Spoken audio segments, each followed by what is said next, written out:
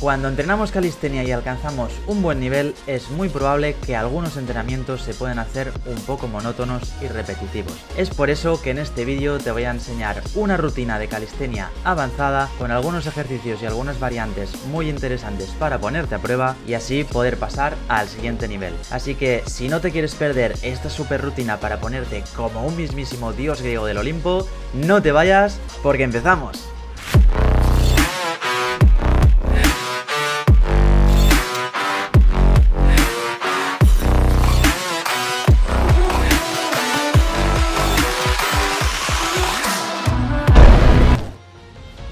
Bienvenidos calisténicos, calisténicas, bienvenidos a un nuevo vídeo. Soy Isaac Martínez, entrenador y fisioterapeuta experto en calistenia y en el día de hoy te voy a enseñar una rutina bastante interesante para que te pongas a prueba, sigas progresando y si eres capaz la repliques.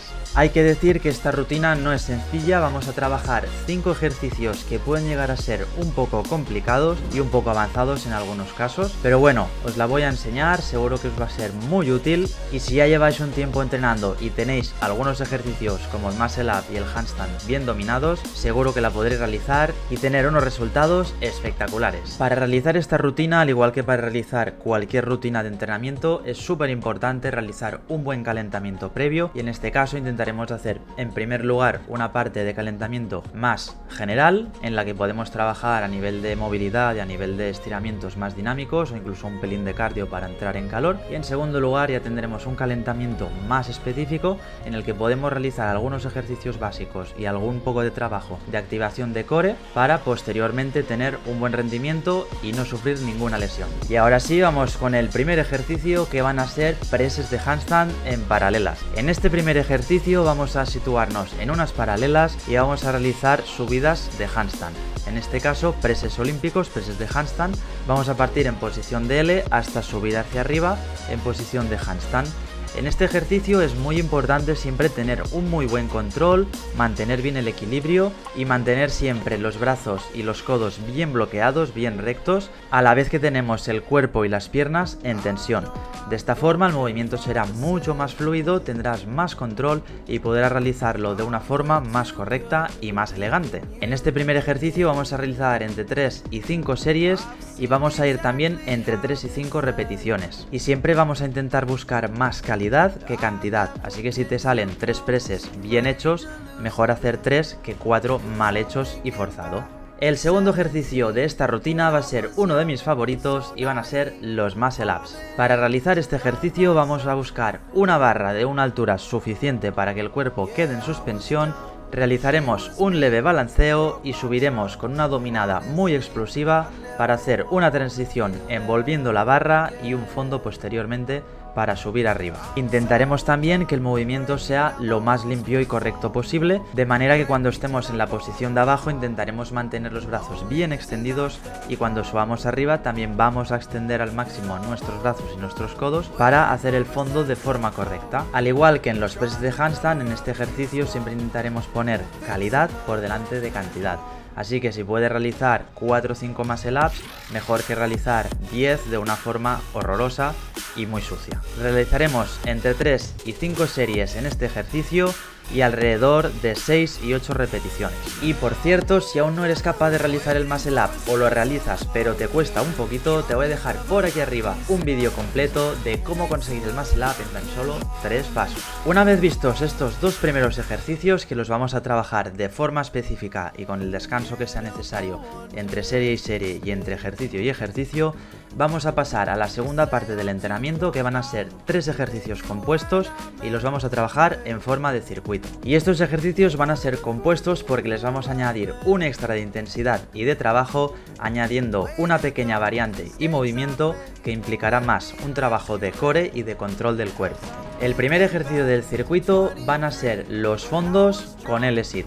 En este caso vamos a ir a las paralelas, realizaremos un fondo de forma normal con el cuerpo bien bloqueado y bien recto, los hombros empujando hacia arriba, los brazos bien rectos y desde esa posición vamos a flexionar los codos a unos 90 grados aproximadamente y empujaremos fuerte hacia arriba. Una vez realizado el fondo mantendremos la posición del tronco bien recta y realizaremos una elevación de L-sit. En la L-sit intentaremos controlar siempre bien el movimiento y mantener las piernas bien extendidas. En este ejercicio realizaremos 10 repeticiones teniendo en cuenta que una repetición será un fondo y una elevación de L-sit. Este ejercicio va a ser muy bueno y muy beneficioso para trabajar no solo el movimiento y el patrón de empuje, sino porque también le vamos a añadir un muy buen trabajo de control del cuerpo y trabajo del core.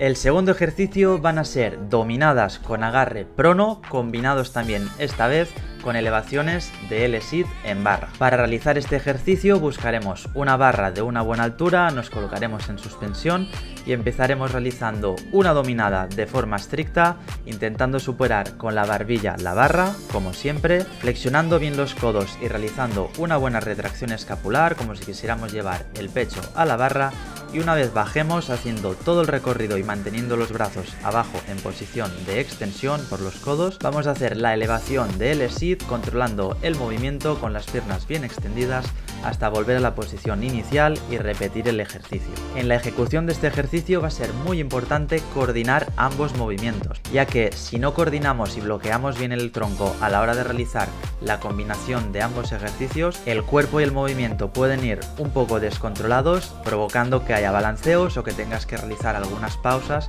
entre repetición y repetición. Vamos a realizar 10 repeticiones al igual que en los fondos con el sit y en este caso también una repetición estará compuesta por la dominada y por la elevación de l Y el tercer ejercicio van a ser flexiones con toque en el hombro. Para realizar este ejercicio vamos a buscar una superficie plana. Nos colocaremos con las manos en el suelo, los brazos bien extendidos y el tronco bien bloqueado y con el abdomen activado y desde esta posición realizaremos la flexión acercando el pecho hacia el suelo y flexionando bien los codos, siempre manteniendo el tronco recto para que no se caiga el lumbar o no quede la cadera también elevada. Y una vez hagamos el movimiento de empuje y volvamos a la posición inicial, vamos a elevar una mano del suelo para tocar el hombro contrario.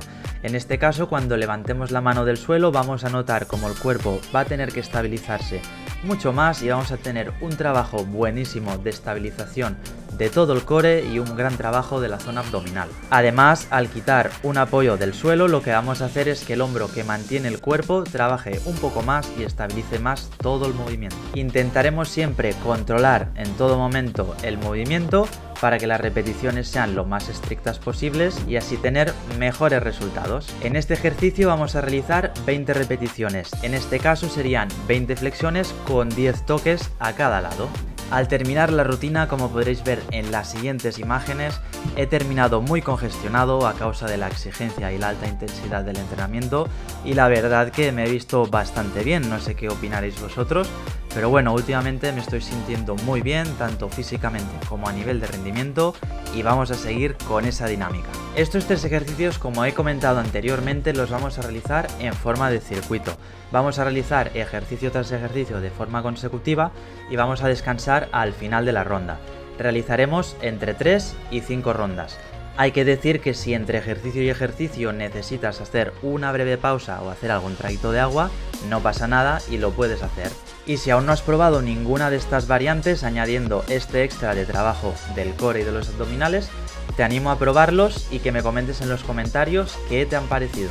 Como habrás podido ver, esta es una rutina bastante exigente y como consejo, si la quieres poner en práctica, te aconsejo que empieces realizando pocas series y pocas repeticiones y progresivamente conforme vayas mejorando y vayas progresando, vayas añadiendo primero repeticiones y después más series. Dicho esto, si te gusta la calistenia, quieres iniciarte o ya llevas tiempo entrenando y necesitas planificarte un poco mejor, me puedes contactar a través de Instagram por mensaje directo o en mi página web calisteniaconisac.com, nos ponemos en contacto, analizamos tu caso y si necesitas una ayuda, le metemos caña juntos. Si te ha gustado el vídeo y quieres aprender más sobre calistenia, te voy a dejar por aquí dos vídeos más uno sobre tres errores que nunca debes cometer y otro de una rutina para que te inicies en la calistenia. Y si te ha gustado el vídeo, dale like, comenta qué te ha parecido o cualquier duda que tengas.